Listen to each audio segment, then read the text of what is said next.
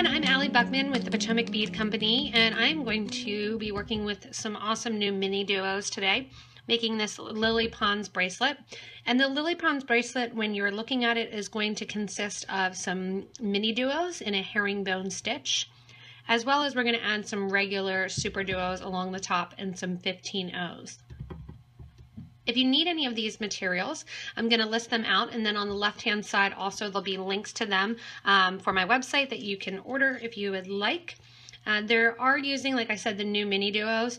You can do the same pattern with the regular super duos, so keep that in mind too, that if you want the regular super duos, that would work as well. It'll just be a tiny bit different as far as spacing. You'll switch from 15 O's to 11 O's if you want to do that.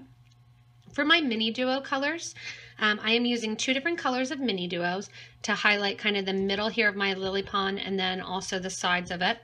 Um, we are going to be using the stone green luster in the mini duos and that's going to be our base color.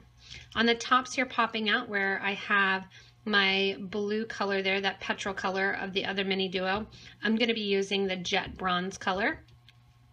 And then I'm going to be using two colors of 15 O's. So when I did the example here, I used 11 O's and 15 O's. Did not like the way that that looked and the effect that I got. So I'm switching from 11 O's to just all 15 O's. I'm going to be using the Duracoat Galvanized Silver in 15 O's, as well as one of the Miyuki coatings in the 15 O. This is the, uh, the Crystal Sunset Matte that you're working with. I have a size 10 English beading, English style beading needle here. It's the Pony brand. Um, and then I have a pewter button that I'm going to be ending it off with. And this is the Flower Vortex pewter button. I also have handy some super new glue. I'm working with 0.006 wildfire thread. I also have sitting near me the wildfire cord cutter, which is just a thread burner. I have a pliers sitting here so that way I can flatten out the end of my thread. And I'm working on a bead mat. So if you need any of those materials, you can definitely get them from us, or you can go to your local Potomac Bead Company. Underneath the description here of the video, there's a little show more button. That'll give you links to all of these product categories as well if you need any of them. To get started on this lovely lily pad bracelet, what you're going to want to do is dump out all of your beads all of your kind of collection here of the beads, whatever you're using on the outside, which for me is going to be that Crystal Sunset Matte, and then your two mini duos. I'm going to take the other 15 color and my Super Duo, which I forgot to say, sorry, is in the um, Jade Dark Travertine color. I'm going to be using that down the middle of my bracelet. Those I'm going to push off to the side and the other ones I'm going to make little piles of those. You want to start out with about five feet of thread. A lot of people ask how much thread to start out with. I do a lot of beginners classes and I teach a lot of people that aren't really um, fluent in bead weaving and haven't done a lot. So I don't like to give people more than about four or five feet of thread at one time. I would rather teach them the correct way to add thread to their project, whether or not that's weaving back or tying onto based on the project.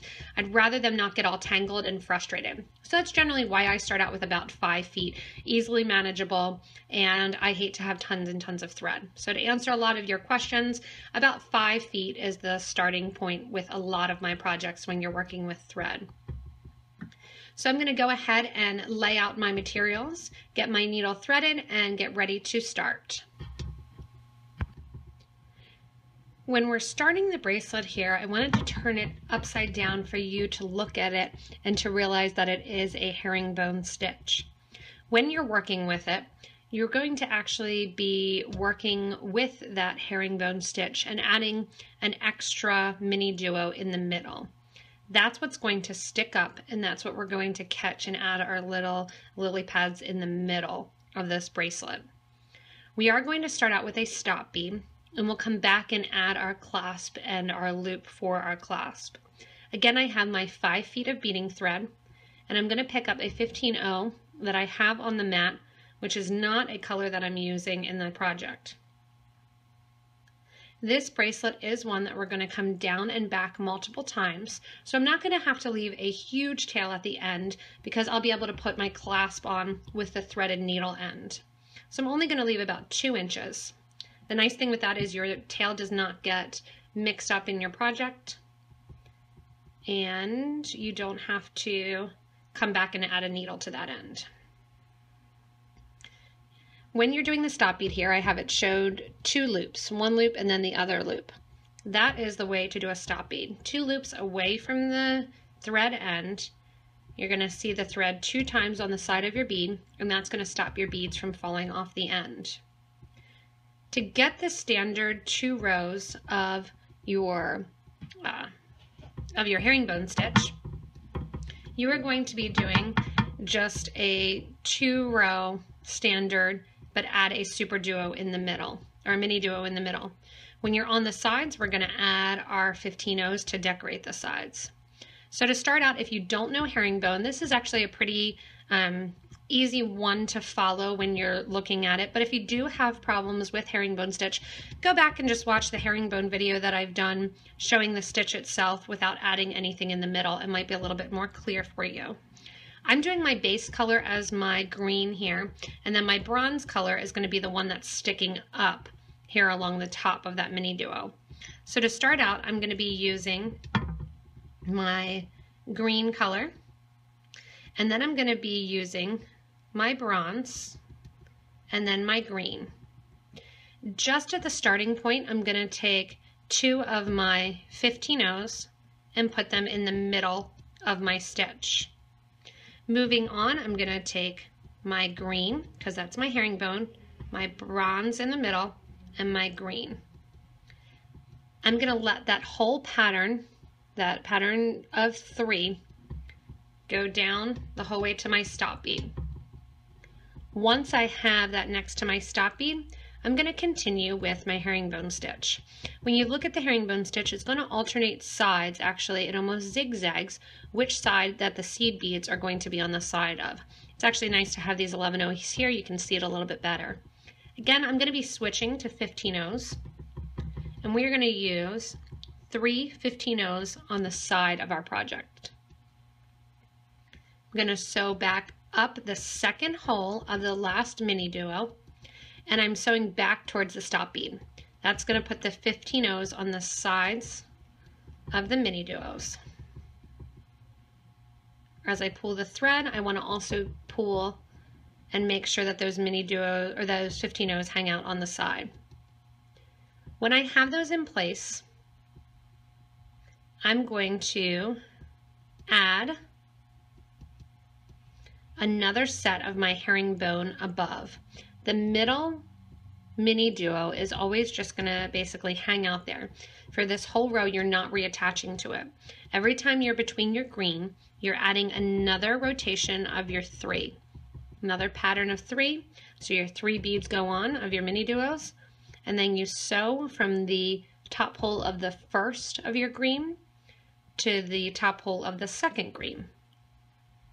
And that's going to create that V effect of the herringbone stitch. So you can see that creates that V. When I'm in the middle here, I'm just going to sew right over to the next of my uh, mini duos and I'm going through the second hole. Pull nice and tight and that's going to pull those two together right next to one another. Again, I'm between my herringbone rows here. So I'm going to add my group of three. And I'm going to sew through the second hole of the first bead that was added onto our project, sewing towards the stop bead. Pulling the thread through. When I let go of that, you're going to have your first little herringbone. The mini duos that are in the bronze color will kind of just hang out there. If possible, you want to keep them all facing to one direction, kind of pushing them back, so that way it's not as hard to grab onto them in the future. Again, they're just hanging out there. You're never in this whole pass going back through them at all. When I'm on the side, coming out either the left side or the right side, I'm going to add my three 15 beads and then sew up to increase and add the next row through the second hole of the last mini duo that I added on to the previous row. We got a little bit of a jumble there. Pulling the thread through. Give a nice tight pull. And that's going to kind of lock that last one in place. As I'm going now to add my next row, I'm in the middle between my herringbone row here. So between the two greens, I add a green, bronze, green, and let those drop down. Skip over to the next green on the opposite side. Sew through that green as well as the next one to add your next pattern of three. This is one of those projects, um, herringbone, and especially with when I'm working with some of these bigger beads, I always hold the project. Sometimes I don't when I'm on film just because it's harder for me to actually show you guys when it's in my hand. Once I'm coming out that first row there, or that first bead in my next row of herringbone, I'm going to add my pattern of three. And keep in mind you can make this bracelet a lot wider if you would like. Once I have my pattern of three, I'm going out towards the outside, going through the super duo on the other, or the mini duo on the other side. When I'm on the side here, I'm going to add my three 15 O's. So through the top, the second hole of the last bead added. I'm just going to continue that as I go. As you add your rows, you're going to notice what I was saying about keeping that middle mini duo kind of facing up. So that way when you look at it on the side, they're just kind of hanging out there. That way when you go back and add our detail on the top of the lily pads, you don't want to have to kind of dig around in your project, which sometimes will expose some of the thread. We're going to continue this two rows of herringbone with the extra mini duo on the inside here the whole way the length of our wrist pretty much. We're going to be adding the button on the first end and then we'll come back and we'll add a loop on this end. Any type of clasp you want to add, we'll do that and I'll kind of explain how you would go in if you want to use a slide clasp or anything like that.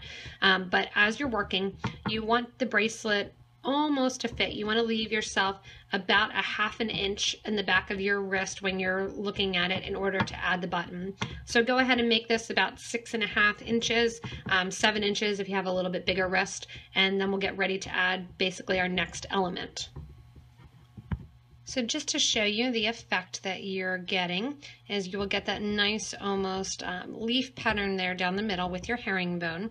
And then you have all these little mini duos sticking up on the sides. If one happens to drop to the back, you can see one right there drop to the back, not a big deal. But like I said, as much as possible so you don't see a lot of extra thread, keep those there. Herringbone stitch is going to be a little bit springy. Um, when we add the beads, we will kind of make up for that springiness so it's going to kind of shrink it to fit. So think about that when you're doing it. And you're just continuing on adding your pattern, building on and getting to your length, it becomes quite um, a quick but actually repetitive, kind of relaxing because it's not a pattern that you have to really do a ton of counting. Um, you're doing more pattern than counting and it moves very quickly. So keep building on, making it again about a half an inch less than your wrist size.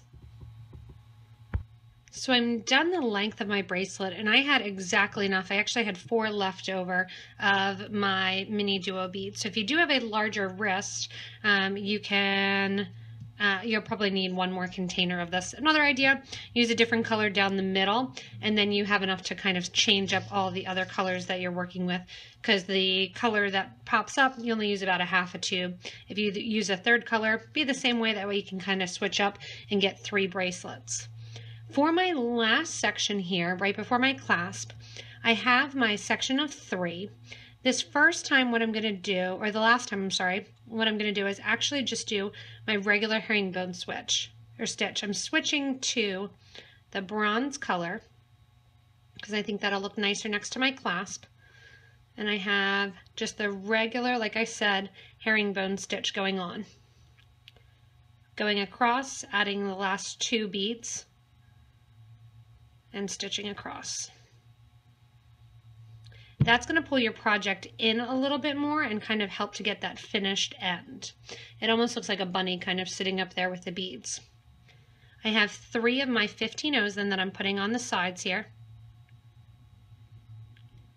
And once those three 15 O's are on, I'm sewing towards the middle. I'm now going to get ready to add my clasp and closure. And I'll get ready to do that and set up with my next color of beads. So I'm going to dump out here my silver because that's what I'm going to use for my loop and my clasp attaching. And I have my silver 15 O's as well. When I'm coming back through the middle here, I'm not going to add any super duo or mini duos. All I'm going to do is I'm going to add my 15 O's. Actually, I'm going to stick with my sunset color. So on my needle, when I'm coming out my herringbone, goes three 15 O's that I'm going to put on right here in between. It's going to leave me a little space in the middle. I'm going to do two 15s and then sew over. Once I'm out between the herringbone, three 15s go on and straight over. Now what I want to do is get back to the middle of that herringbone stitch to those two beads that are in the middle here at the end and I'm going to use that to attach my clasp to it. So my clasp is going to sit right there off of that. To get back to it, I'm going to add two 15 O's going from the top hole of my last mini duo down to the bottom hole, sewing towards the middle and going through both beads. That's going to hide any thread that I would have showing right there on the end and just kind of pull that together. I'm also going to tighten up my last row.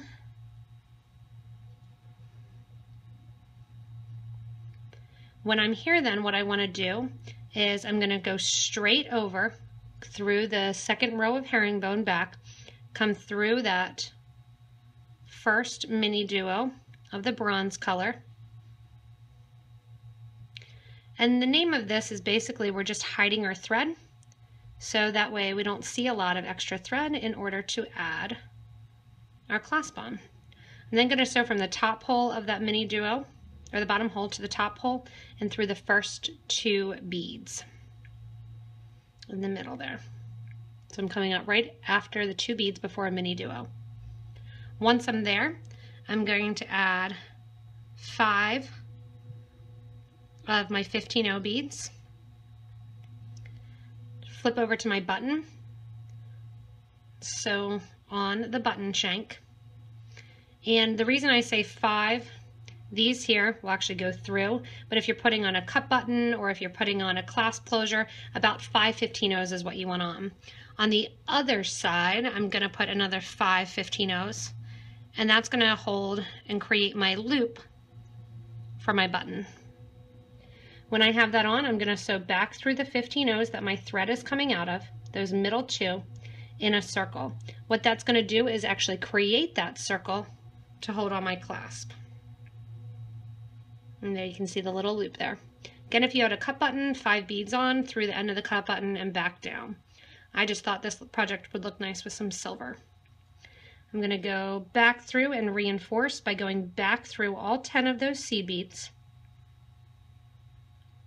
And once I get that all done, I'm going to bring my needle and thread out those two 15 O's that I'm coming through, and we're going to step up and get ready to add to the top. So I'm coming out of my 215 O's after reinforcing my little loop clasp here. And what I want to do is get back here to my first of my mini duos that is sticking up. When you look here on the example piece in the side, basically what we're going to be doing is going from that last mini duo that's on there, and we're going to be catching onto that top to create kind of an angling effect. To get there, I want to sew through the mini duo on next to my clasp. Sew through those three seed beads. Sew and come out the bronze mini duo on the corner. So be coming out right on the edge there. Once you're right there out on the corner, here's where we're going to switch to our silver beads. You are done with your mini duos, um, except for a couple here that we're going to use at the end. So you want to keep about four of your secondary color at the end. And what I'm going to do is catch on here to that first mini duo. To do that, I'm going to add five 15 seed beads. And this is my galvanized silver, that Duracoat color. And I'm sewing up the seed bead, or up the mini duo, towards the center of my project. And that's going to create that little bridge there from the outer edge to the first mini duo that's sticking up. The whole time now what we're going to do is go through that first ridge here, going through all the second holes of the super duos that are sticking up in that bronze color. We're going to be working with one side and then we're working with the other side. All we're going to be doing is going back and forth in a zigzag pattern, adding our 15 O's in. Here I used two on the sides. We're actually going to be using three to create a little bit more curvature and three on the inside. So it's a very simple pattern. Three 15 O's go on and then you go from the inside towards the outside of the next mini duo in line. Three more 15 O's go on. then you're going from one mini duo to the next from inside to outside. You can see then it's just kind of creating that snaking effect. That's what's going to set up our area in order to add our little lily pads. And I'm just going to continue the whole way down the line on one side here, going through and adding three on one, three on the other. So you can see the idea is that we're catching on to those mini duos that are sticking up, adding three on the inside, three on the outside, and creating that snaking silver effect. Continue that down the whole way on this left-hand side. We'll add a loop and then we'll come up the right. So I've gone down the whole side here, adding on the collection of three on each side of my mini duo that's sticking up. And I'm here at the end. What I've done is I've moved my uh, stop bead there right off to the end. I'm going to have an opportunity here to tie on there. What I'm going to do is actually forego some of my extra beads that I was going to add on the end and I'm going to attach my loop clasp here. I'm going to get to the outer edge here by adding five of my seed beads like I did on the first side to get that little zigzagging motion. And I'm going to do that here on the end too. So I'm coming out my last bead towards the end. And what I'm going to do is tie on or tie the knot so that we are ending the starting thread. So back to the starting thread here, we're just going to tie those two ends together.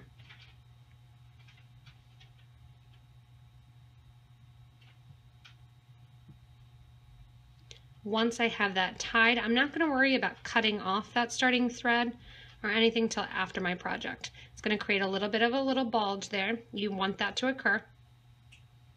I'm tying three knots, making sure that I'm not tying into my beads, I'm just tying right below them.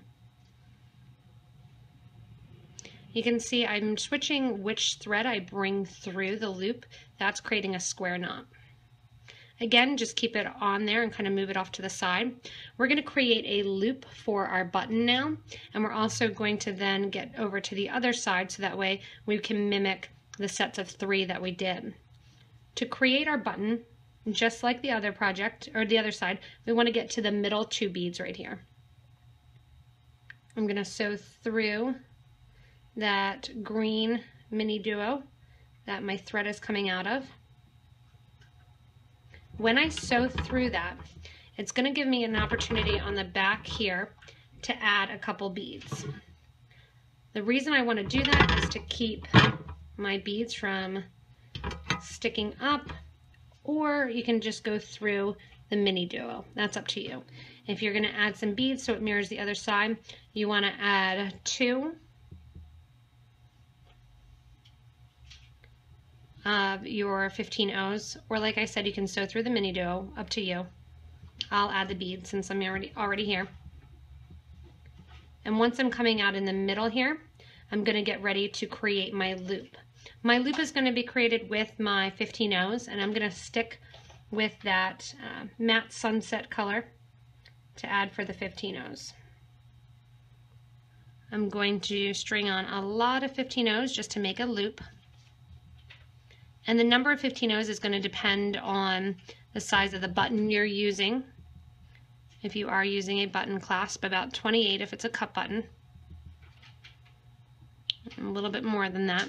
You always want to make sure that the loop is going to fit around your button if you're using one. If you don't want to use a button closure or you want to use a um, regular metal clasp, you can also use wire guardians or wire protectors, sometimes called one, sometimes called the other. And you can use those at the end so that way your thread is not rubbing against that metal. Once you have your loop created, you want to make sure that it does go through the clasp so that you're not going to have any tension and really pulling effect. But again, you don't want it so big that it's going to slide out. I'm going to reinforce this loop right away, sewing back just like the other side in a circle, and then sewing back through all the beads that I just added. Once I sew back through all these beads and sew and reinforce this loop, I want my needle and thread to come out on the corner of my stone green mini duo on the side. That's going to give me a chance to get my little five beads in place and get to the outer edge of my first mini duo that's sticking up in that bronze color on the outer edge. When I'm underneath here, because I did it on the other side, I'm going to add two of my 15 O's and skip over to that corner. Again, once you're in the corner, you're adding five of your silver 15 O's.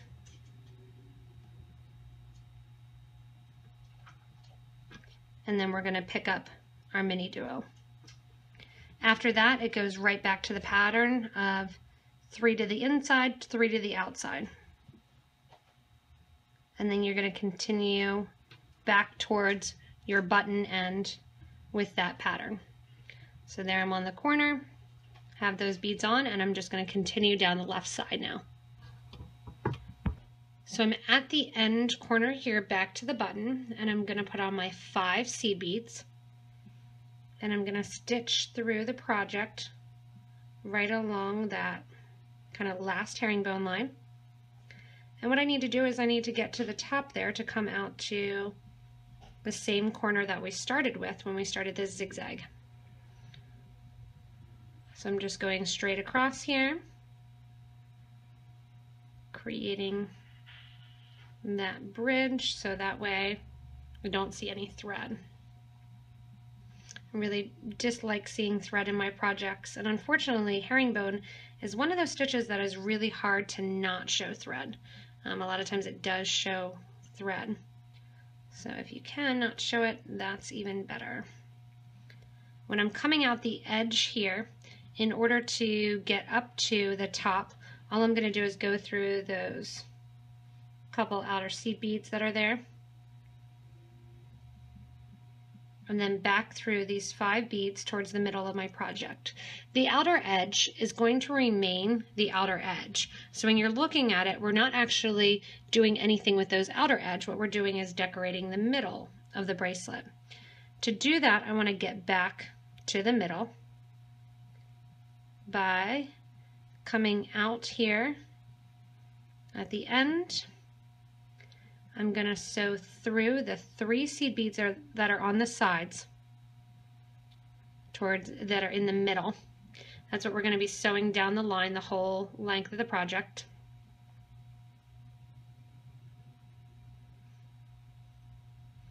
Get caught there around my clasp.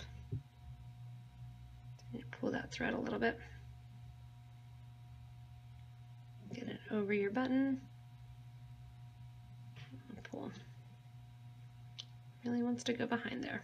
Okay, so now that I'm at this center track here, basically working along the sides, that's when I'm going to go in and actually add my super duo. If you want to, you can add a mini duo, that's no problem, and the mini duo will fit in there as well. The mini duo is what I added here. The super duo is what I'm going to add in the middle of my project. And looking at it here, this color match is really, really close. I thought maybe it would be a little bit more contrasting. Um, so I may, hmm, I'll stick with it. Um, but sometimes you get to the middle of your project with the colors and you decide to change your ideas and that. When you're in the middle here, we're going to be coming down the one side and then we're going to be coming down the other side.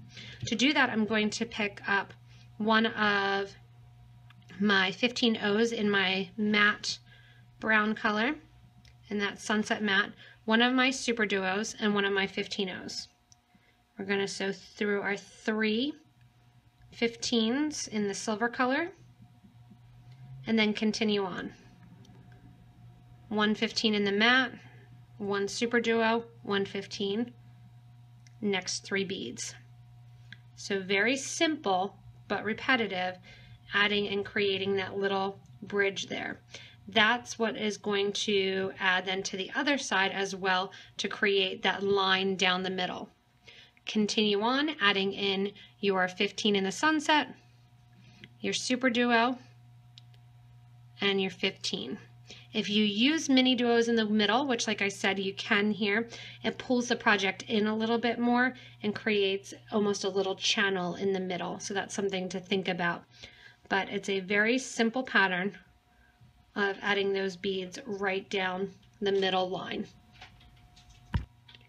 I've gone down this whole side adding my super duos in and my 15 O's.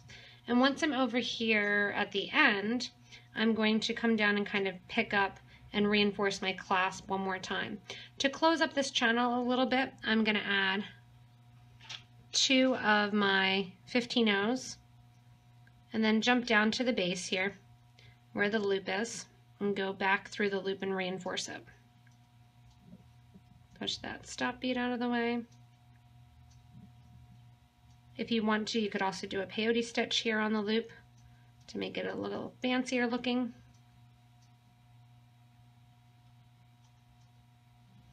And once I've reinforced then this whole loop, I'm going to come out those two seed beads here and get ready to go down the other side of my project. So I'm coming out the end here of those two 15 O's on the base line and I'm going to add two more 15 O's and go up to the three Duracoat 15s in my silver color and sew through those. When you're coming out of the 15s on this second row, instead of adding a super duo, all we're going to be doing is adding the 15 O's and catching on to the second hole of the super duo that's already there. So we're going to be adding a 15 O and this is in my sunset. Sewing through the super duo that's already there. That's going to pull the project in together a tiny little bit. And that you can see the exaggeration with the mini duos versus the super duos. On goes another 15 and I sew through the next three silver 15s. and simple as can be, add a 15, sew through Super Duo, add a 15, sew through the three 11 O's, or 15, sorry. And just continue right up through your project, seaming it up and adding those two sides together to get that um, kind of completed look right down the line. So here it is as I'm going right along and connecting to those super duos. Um, as I'm doing this here and getting this last row done, you can see the difference between the mini duos that are creating that arching effect and the line effect that you're getting from the super duos. The other thing that I thought of only now was that round duos would look really pretty in the middle as well. With the round duos, you wouldn't add any of the 15s on either side. You just go straight from the three beads to the round duos. So I challenge some of you to use some round duos in the middle here. The other thing that would look nice is if you put a uh, teardrop in the middle on the outside row instead of your 15 O's. So there's always a lot of variance that can be done with these designs, especially with the two hole beads. You really have tons and tons of options that you can pick up and work with. So I'm continuing on building as we go and sewing right down the line and that will finish up our bracelet then. So I'm on the last little pass here where I'm going to add my 15, go through the 15 silvers. And I didn't notice until right when I got here that I only have two on this side. So I'm going to pick up one more, correct that error. Good thing bead weaving, you're easily able to correct errors a lot. Or I could keep it and no one would probably notice but me. But I'm adding that extra 15 in there. And what I'm going to do is basically reinforce my loop that my clasp fits on. And to do that, I'm just going to go right back through all these seed beads, get to the middle of my project where the thread is coming out to create that loop. And then I'm going to reinforce it. Once I have that, I'm just going to tie off my project, go into the areas where I had that starter thread, and that knot that I did and glue there. Glue in an area where I added thread. And I did forget to show you guys where I added thread. I added it towards the inside of my project rather than on the outer edge when I was adding my 15 silvers in. That way you don't see the knot. And once I have it reinforced and all glued and knotted, it will be done. I really like how herringbone feels on the wrist. The Super Duos I've always had a wonderful love for because they work up really quickly and they are such a fun shape. I do wish that I would have used um, some round duos in the middle just because there are bead and I like to use those a lot. I think that shape difference would have looked nice in the middle. But it's a really fun and quite easy bracelet. It's just adding a, a lot of the same exact things over and over again. When you're looking at the bracelet from the front, um, you do have that kind of lily pad effect. And then on the back, you have that nice herringbone effect. The back just puffs out just a tiny little bit more from the front. And when you put it on, it lays really nicely on the wrist. And with the button, it's quite easy to add the closure and add on. I just have tons of threads hanging out here that I need to get on. And the bracelet is going to lay wonderfully. Again, it's using the mini duos and the super duos. And you could switch out the top for something else. You could even put a monty in the top.